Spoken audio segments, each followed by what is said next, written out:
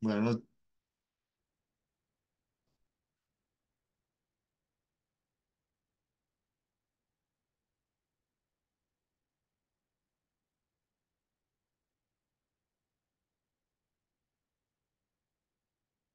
muy bien. Hoy vamos a hablar eh, el manejo del expediente clínico en su segunda parte. Y hoy vamos a dar los documentos eh, médico-legales. ¿Se acuerdan? Esa séptima parte de las seis que habíamos hablado la, en la anterior clase. Ahora vamos a hablar de eso, de algunos documentos médico-legales. ¿Y qué son los documentos médico-legales? Son actuaciones escritas que utiliza el médico en sus relaciones profesionales. Es una actuación escrita del acto médico en el proceso salud-enfermedad. Y obviamente nos permite relacionar eh, no solo con profesionales de salud, sino con autoridades, con organismos, con instituciones o en fin, con cualquier persona que no sea necesariamente eh, de, dentro del gremio de salud.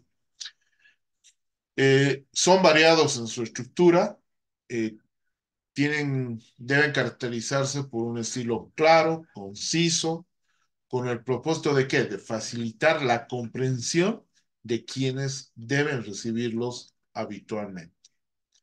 ¿Cuál es la finalidad? Su finalidad es constituirse como un elemento probatorio en un posible proceso de litigio o un proceso legal.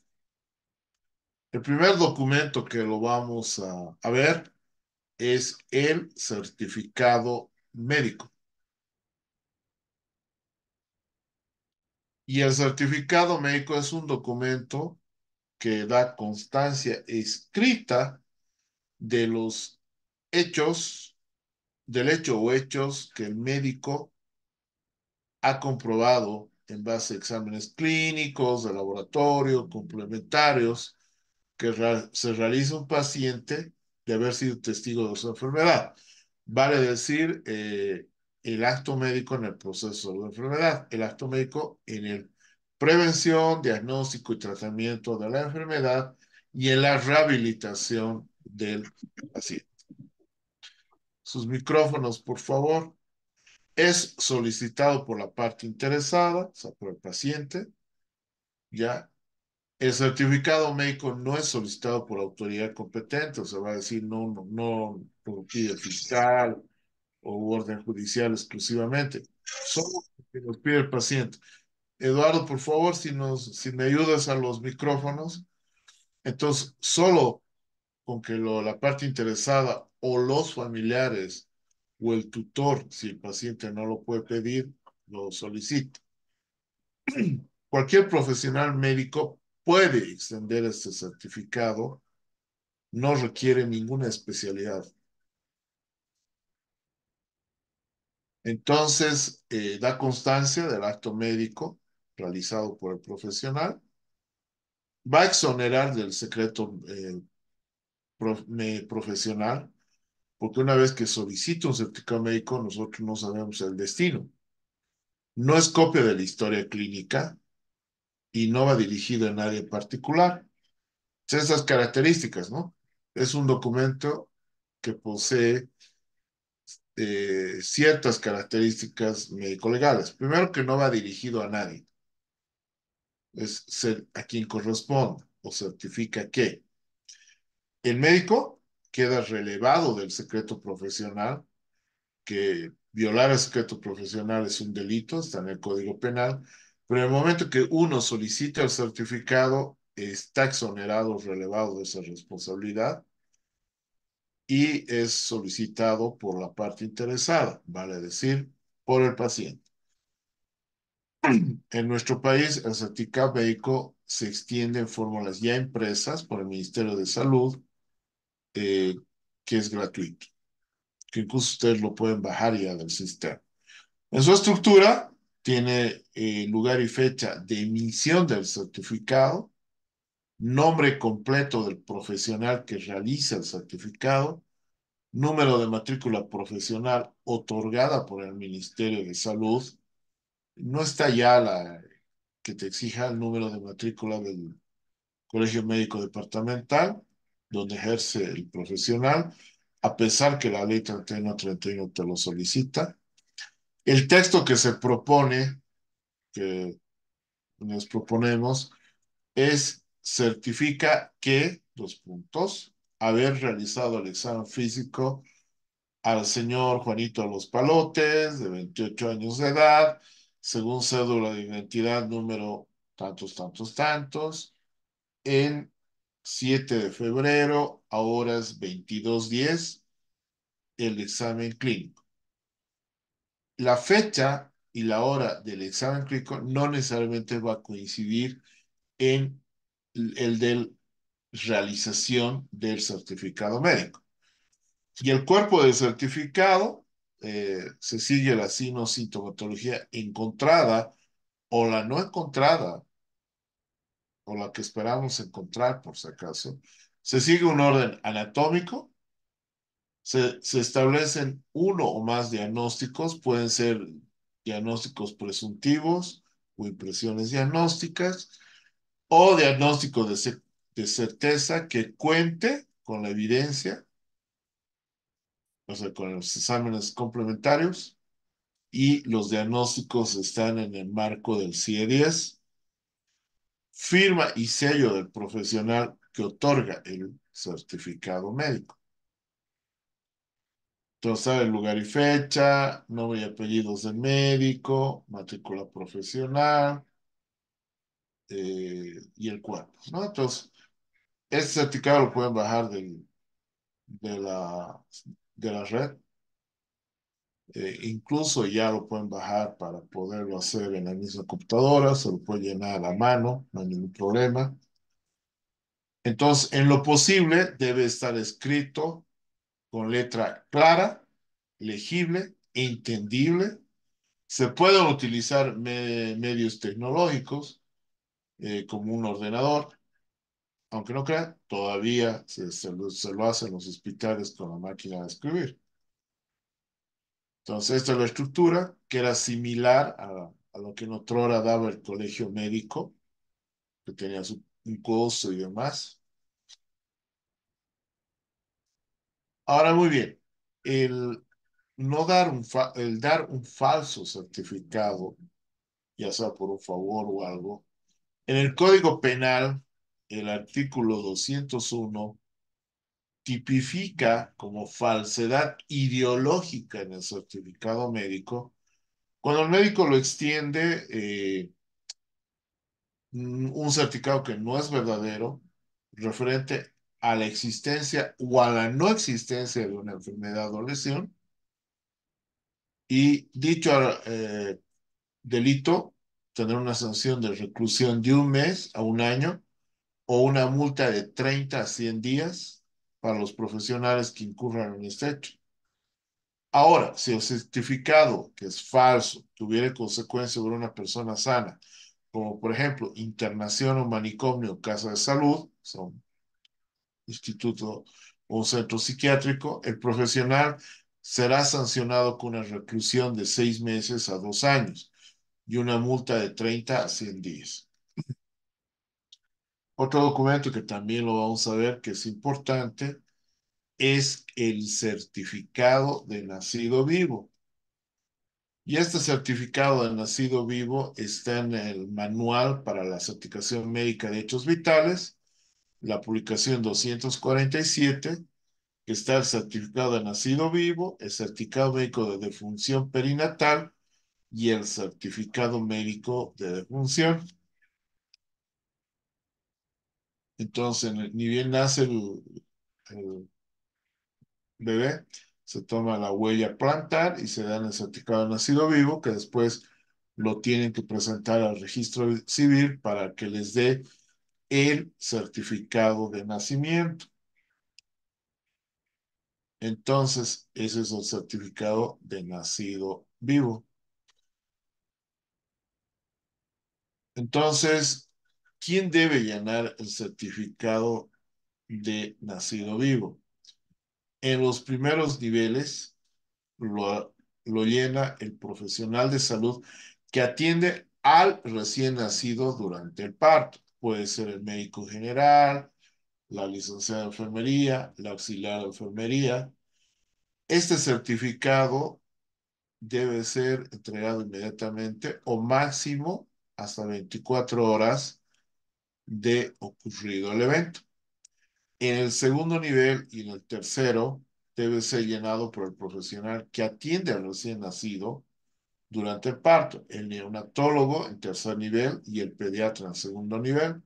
Igual, inmediatamente después de haber ocurrido el mismo o hasta 24 horas de ocurrido el evento. En caso de que no se cuente un profesional neonatólogo o pediatra, 24 horas del día, el certificado de nacido vivo debe ser llenado por el profesional de salud que atendió al recién nacido durante el parto.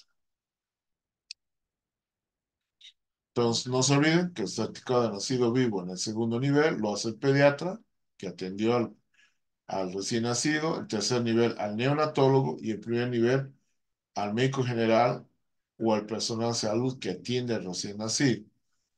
Se debe emitir máximo hasta 24 horas. El otro documento que vamos a hablar a continuación es el certificado de función, que certifica la causa y forma de la muerte. Lo puede llenar, puede ser llenado por cualquier médico cuando, cuando, esta, cuando la persona fallece dentro del establecimiento. En caso de muerte domiciliaria, sospechosa, solo puede ser emitido por el médico forense. Y si hay un médico tratante, hasta un plazo de siete días después de ocurrido la muerte. Eso dice el Código de Ética Médica. Entonces hablemos del certificado de defunción. Entonces, dentro de lo que es la patología forense, el certificar la causa y la manera de la muerte es principal responsabilidad del médico. Y para tales efectos eh, se otorga lo que se llama el certificado de función, que es un documento obligatorio que extiende el médico de planta o tratante al paciente, del paciente cuando fallece al interior del establecimiento de salud, ya, o lo que decía el código de ética, hasta siete días después de ocurrido la muerte. Obedece un formulario expreso, cuya copia queda en el expediente clínico.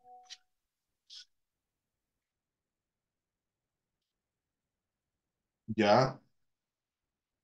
Y en caso de muerte que no tenga asistencia médica o muerte domiciliaria o muerte eh, por violencia o sospechosa o en vía pública, el certificado médico es otorgado por el médico forense. El certificado médico obedece a la estructura recomendada por la OPS, que nos habla de las causas determinantes y causas contribuyentes. Incluso ahora como en el CICE se lo puede eh, llenar eh, ya en la computadora. Entonces, ¿cuáles las causas determinantes de la muerte? Hay una concatenación en, en la sucesión de las causas y los motivos que conducen a la muerte. A sería la causa directa de la muerte. B la causa intermedia que tiene implicancias de la enfermedad y C, la causa básica de la muerte, la enfermedad fundamental de la muerte. Y hay las concausas, de que son patologías significativas que contribuyen indirectamente a la muerte. Este es el formulario y en el reverso está el instructivo. Saben, por ejemplo, que no se puede anotar en el diagnóstico ni paro cardíaco ni falla multiorgánica se debe dar un intervalo aproximado de, del enfermedad de la muerte y sabemos que ahora pueden certificar el médico, el médico forense, la licenciada de enfermería, el auxiliar u otro que hay que especificar en el caso donde no haya presencia médica. Otro documento del cual vamos a hablar es la receta médica. Eh, la receta médica tiene dos aspectos. La prescripción, que son las indicaciones que da el profesional en salud a su paciente. La proscripción, que son las contraindicaciones que deben ser aclaradas a su paciente. Toda receta consigna el nombre completo del paciente, el nombre genérico del medicamento, vía y cuidados especiales de la administración, concentración y dosificación, frecuencia en la administración, eh, precauciones especiales que debe tener antes de la administración del medicamento y, bueno, identificación del médico, ¿no? Entonces, la receta médica o prescripción médica es un documento legal que avala la dispensación bajo prescripción facultativa eh, del personal de salud. ¿Cuál es el fin? Terapéutico, lo emite el médico tratante o el médico interconsultado. Eh, hay un formulario institucional expreso, debe ser llenado con letra claramente legible y entendible consignando el nombre completo del paciente, el nombre genérico del medicamento prescrito, vía y cuidados especiales para la administración del medicamento por parte de enfermería, concentración y dosificación, frecuencia de administración en 24 horas, duración del tratamiento, tener precauciones especiales para la administración del producto o producto que ha, sido prescrito, indicaciones especiales que se le dan al paciente y datos del prescriptor, va a decir nombre completo, firma, matrícula profesional y la del colegio médico. Entonces, la prescripción, lo que habíamos dicho, es un término referido a las indicaciones que dan los profesionales o técnicos a cargo del paciente que deben ser anotados en el expediente clínico,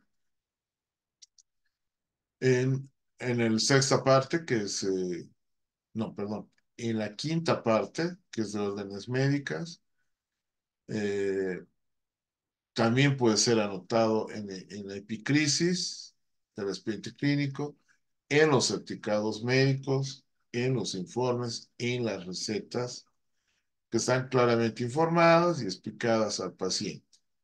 La proscripción, que habíamos dicho que son las prohibiciones o las contraindicaciones que establece el profesional eh, o los técnicos a cargo del paciente, que igual que la prescripción deben ser claramente informadas y explicadas al paciente.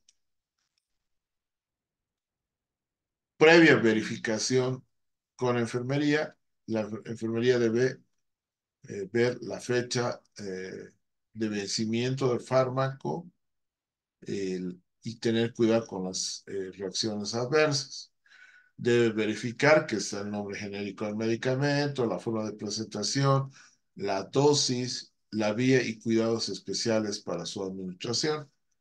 Entonces, tenemos los recibos recetarios, eh, que están igual, ¿no? Los diagnósticos, eh, tiene que haber una correlación clínica administrativa, el medicamento, su nombre genérico, su forma farmacéutica y concentración, indicaciones para el paciente, etc. Este es el otro formulario. También tenemos eh, este, donde está para sustancias controladas, y un, y un recetario eh, para práctica privada o, sí, privada, están datos del médico, sus matrículas, está el nombre del paciente, la dirección, su carnet, edad, el diagnóstico, el RP, que significa prescríbase, se da la medicación, la fecha, la firma y sello del médico. Entonces, ¿cuál es el deber de enfermería? El de velar por el estricto cumplimiento de las indicaciones y la administración de los medicamentos. En caso contrario, el reclamo oportuno, requiriendo aclaraciones y modificaciones necesarias. Entonces, esos serían los documentos eh, médico-legales que hemos podido ver.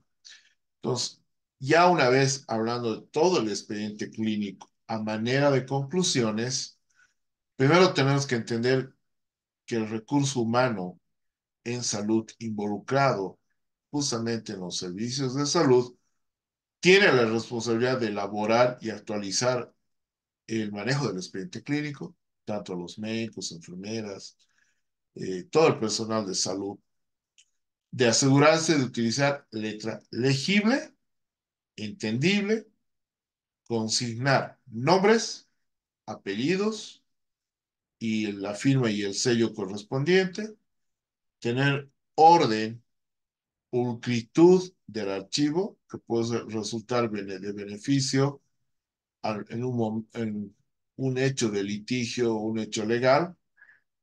No olvidemos que siempre debe estar escrita con letra clara y legible en, la en toda su estructura. Vamos a este video. Profesional médica. Esta es una responsabilidad, ¿no? Es una responsabilidad del médico tratante, del médico, ¿no? Y esto es legal, legítimo, porque está regulado por una ley. Y toda su práctica está, ¿no? regulada por normas. ¿Cuál es la ley, doctor? ¿Eh? La ley 3131, pues. ¿No? La ley 3131 es específica. Ahora, está naturalmente el Código de la Salud. Son, ¿no? El Código de la Salud. Y estas normas, estas eh, disposiciones legales, estas, estos reglamentos que están basados en protocolos de ejercicio de la profesión. Entonces, por lo tanto, el primer elemento es que la práctica médica es una práctica legal, es una práctica legítima, es una práctica normada. Cuando hablamos de mala práctica, es porque no se ha cumplido esta parte de, lo que las normas y los protocolos. Eso es la mala práctica. Entonces, ¿qué es lo que qué es lo que lo que normalmente a qué le llamamos mala práctica? A la no observancia de esta normativa. A la no observancia de las normas, de los reglamentos, de los protocolos, ¿no? Que es un tema evidentemente de responsabilidad responsabilidad personalísimo. Para hacer esto, naturalmente, solamente que tenemos estamos autorizados legalmente, tenemos formación integral, ¿no? Tenemos formación técnica, tenemos formación académica, ética, moral, de principios de la vida. Porque es así. Entonces, ¿por qué decimos que no debe haber una ley de la mala praxis? ¿Por qué es negar este principio? ¿Por qué está incorporado en la norma del 31-31 en la mala praxis? Porque no se ha cumplido este principio, esta, esta, esta ley, esta regulación. ¿No? Por eso que no puede haber una ley, una ley que esté basado en lo negativo, en la negación de este principio de la responsabilidad del bien común, del hacer, el bien a la sociedad. No puede haber, por eso que los médicos no es un tema de protección, no es un tema de defensa, no, es un principio. No podemos estar de acuerdo a que se haya haga una legislación, ¿no es cierto?, para... porque desnaturaliza este principio histórico, este principio de la vida que viene pues desde la, ¿no? desde la misma vida de del, del ser humano.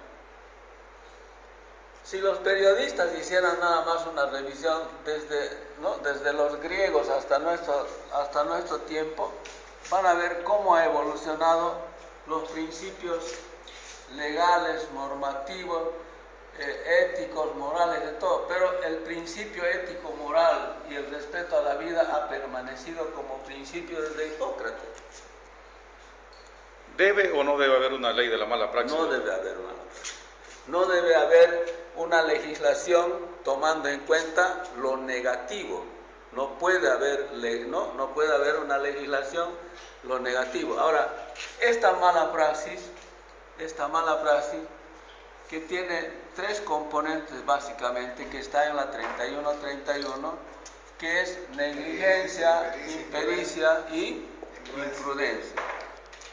Esto está plenamente establecido que a través de un proceso de evaluación, de seguimiento, de análisis, que es la auditoría médica externa, es la que es hecho por auditor acreditado, no es cualquiera.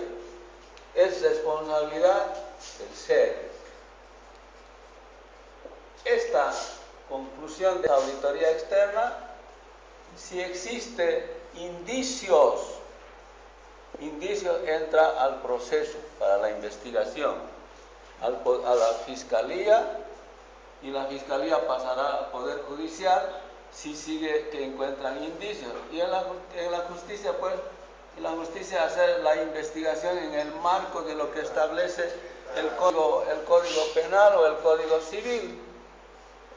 Esto. Pero antes, en la mala praxis, en esta parte de lo que es del 31 al 31, para que vean que no es una ley ni protectora, ni parcial, ni encubridora, ni nada, sino es una ley de regulación del ejercicio de la profesión médica, ha quedado incorporado en un capítulo casi del 50%, que son los derechos de los pacientes. ¿Qué dice en la ley 3131? El derecho fundamental del paciente está a la información y al consentimiento. Eso dice en la ley 31. Y esto naturalmente está normado. Si esta norma no se cumple, naturalmente entrará en la, en la categoría de mala praxis. ¿Dónde es el mecanismo de investigación? En la auditoría médica. En la auditoría médica externa. Porque también hay una auditoría médica interna que todas las semanas los médicos se reúnen para ir mejorando, viendo sus debilidades, lo que fuera, pero este es el que tiene valor, el valor legal. ¿No? por lo tanto, en conclusión, un médico no puede estar de acuerdo y menos impulsar una ley, ¿no? Que esté específicamente a sancionar la práctica médica. La práctica médica. No estamos en contra de que la práctica médica sea evaluado con una visión ¿no? sancionadora. Que de, de, entrada esté pensando que hemos hecho algo ilegal. Que de entrada me esté diciendo que tenemos, ¿no es cierto?, una intención de hacer mal, que somos, ¿no? De maldad. Y es contrario a nuestros principios, es, es por eso. Ahora, estamos proponiendo que evidentemente esta ley 3131 sea mejor socializado, aperturado, lo que fuera. Por eso que creo que es importante en este momento el 3131 junto con el Código de la Salud, que está muy sobrepasado por la historia, decimos que deberá dar una ley general de sanidad o de salud, una ley de la República, una ley general de salud, como la que tiene España, como la que tiene Argentina, tiene donde incorpora todo. Y no es una ley que está dirigida a la regulación solamente del ejercicio de la profesión médica. Esta, esta regula a los médicos, a los odontólogos, a los bioquímicos, a las enfermeras, a los trabajadores, todo el sistema de salud queda incorporado en la regulación ¿no? de lo bueno y bien que debemos hacer y naturalmente las fallas que tendrán, ¿no es cierto?, con la parte de lo que es esto, el código de salud. Todos, en cualquier parte del mundo, sean desarrollados, medianamente desarrollados, lo que fuera, terminan en el código penal y el código civil. Todo. Ahora, esto, para terminar, esto no puede estar ¿no?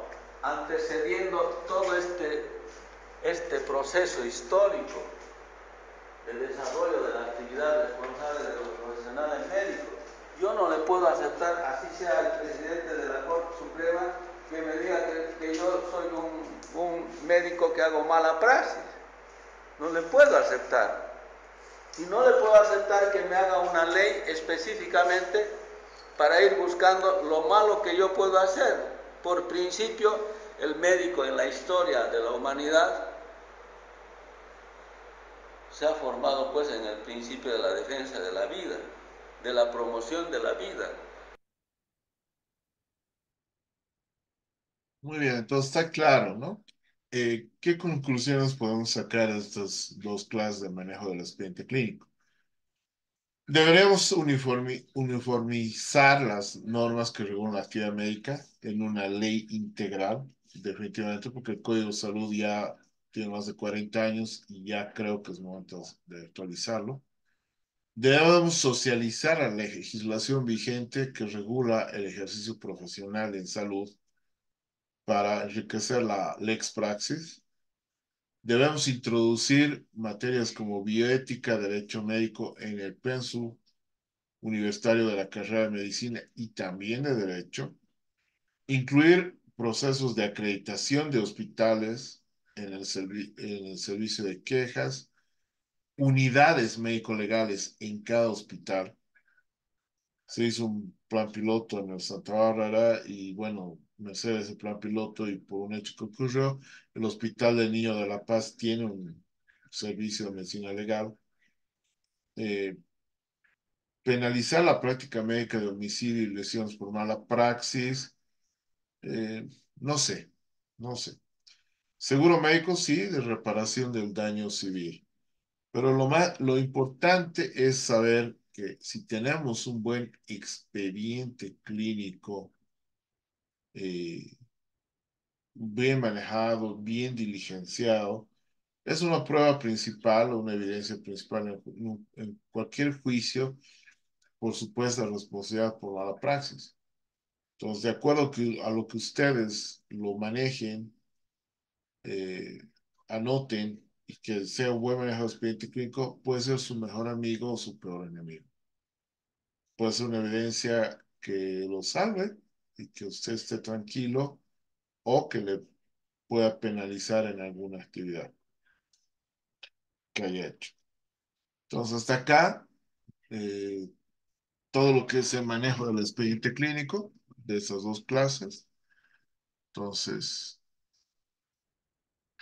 no sé si tienen alguna consulta o alguna pregunta.